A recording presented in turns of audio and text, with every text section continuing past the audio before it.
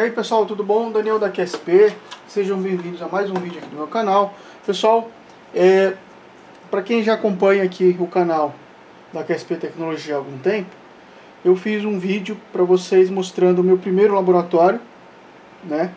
Lá na, que ficava lá na casa dos meus pais, mostrei a trajetória da QSP e para quem observou as fotos que eu tinha colocado, eu tinha esse gaveteiro aqui, ó, que depois que eu mudei, né, para cá, onde eu estou agora atualmente, eu deixei ele lá na casa dos meus pais, tá?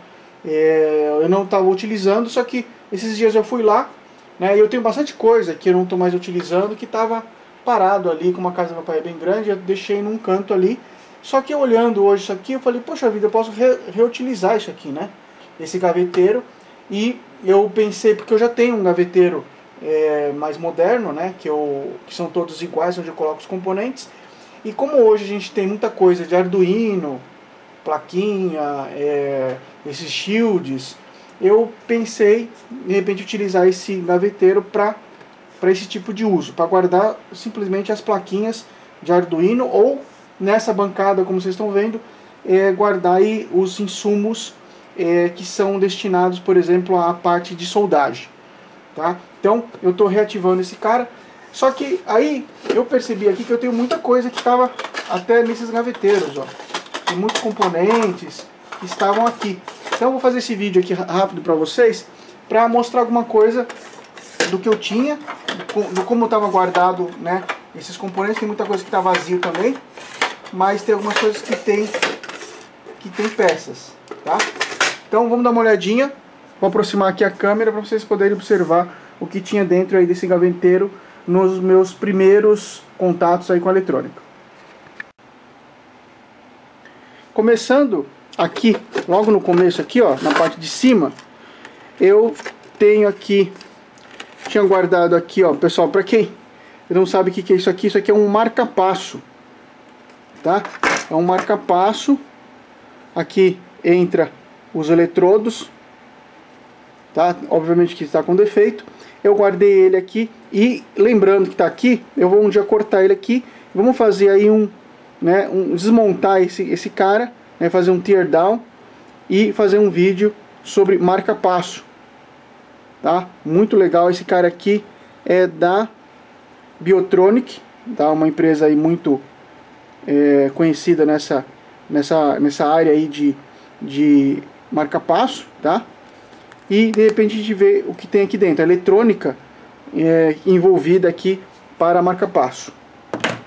É, aqui era só a caixinha do marca-passo, aqui tinha uns fiozinhos ó, que eu guardava, então ela está vazia agora, vamos voltar aqui para a gaveta. Na parte aqui de baixo a gente tem aqui, tinha nada, tem aqui um termo retrátil, também não tem muita coisa, Aqui tem umas plaquinhas, ó, que eram placas do meu simulador de sinais cardíacos. Estavam sendo montadas, né? Eu parei de fabricar ele. Tem umas placas aí que sobraram.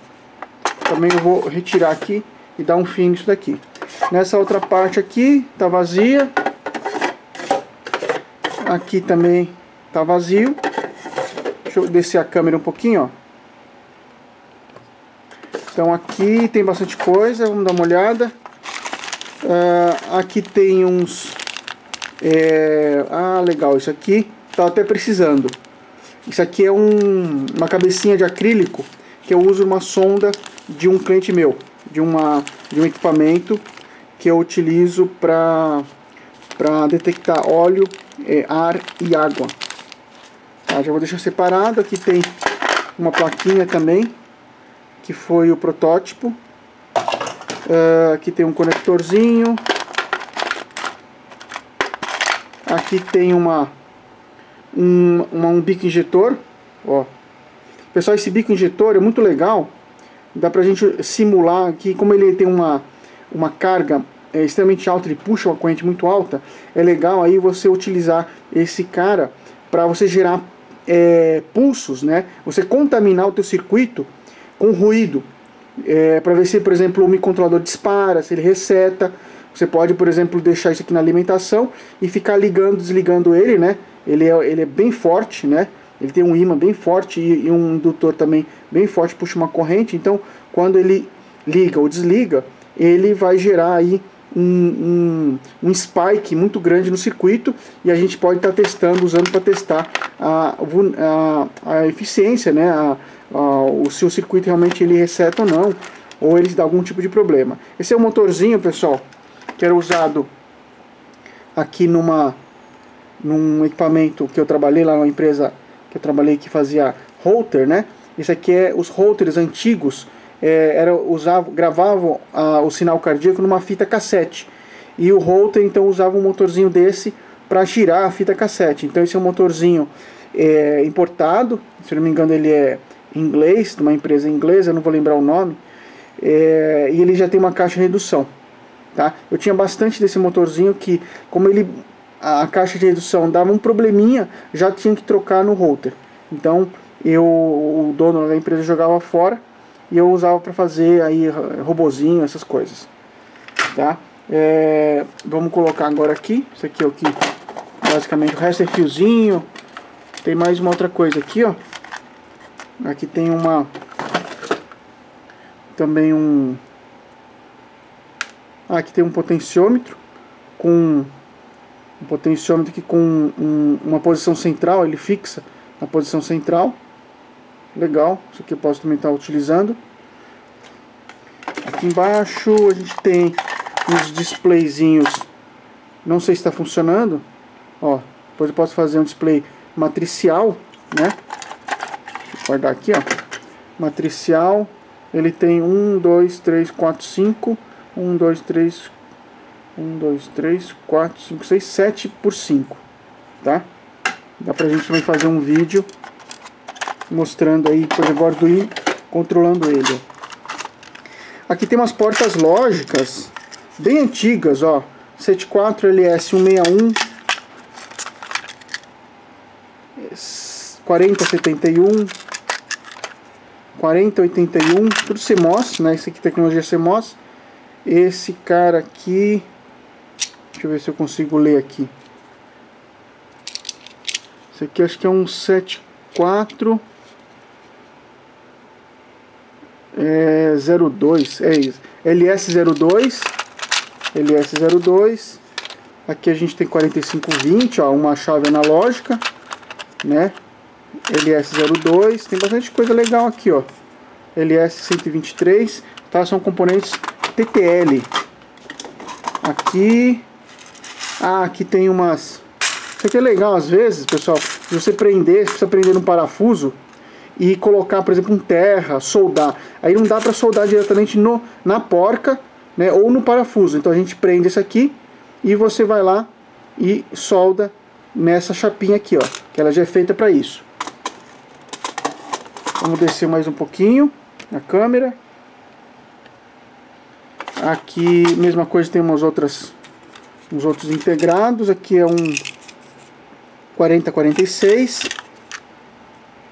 LS76 e umas outras portas lógicas aqui, ó. 4013. Tá tudo jogado. Eu vou ter que depois cadastrar isso aqui. Entrar no sistema. Aqui tem um componente você puxar o datasheet dele, HM é, 9102. Tá aí, ó.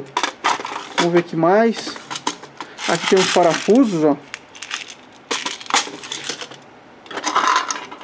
Aqui tem uns rebites. Ah, olha só que temos aqui.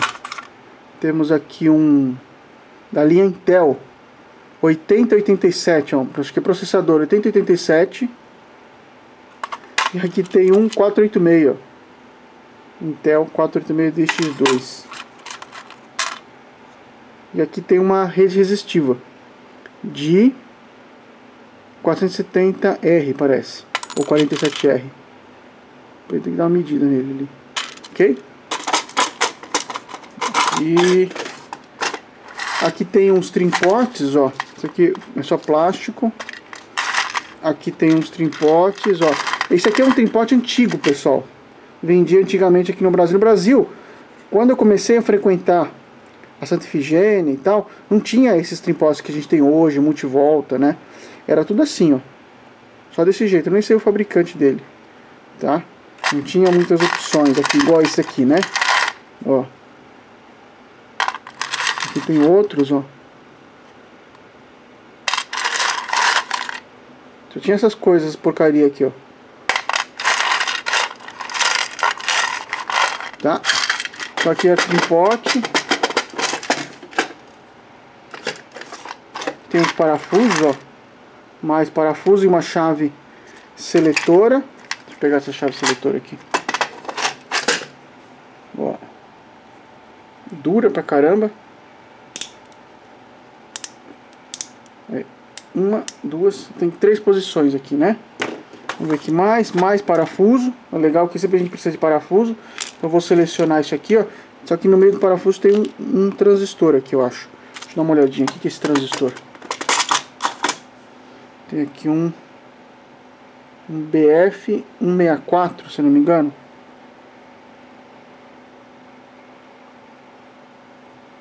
Né? Então é isso aí, ó. É o que tinha na, antigamente, né? Aqui tem uma um display, ó. Tá? Aqui, pessoal, esses displays, eles têm essa essa cabecinha aqui, ó tá? E tem um gás aqui dentro. Quando ele, essa cabecinha fica escura ou branca, é porque ele está quebrado, né? Entrou, já saiu o gás. Então dá ver, a gente ver aí se ele está funcionando ou não. Aparentemente esse cara também deve estar tá funcionando, só tem que ver um drive aí para poder acionar ele, tá? É, aqui tem mais 4520, ó, tá? Tá vazio. Aqui tem um estilete, provavelmente está muito ruim esse estilete, mais circuito integrado, um LS373. Aqui tinha um cadeado eletrônico, depois eu mostro, faço um vídeo para vocês. Isso daqui é muito legal. E aí parafusos, parafusos e parafusos.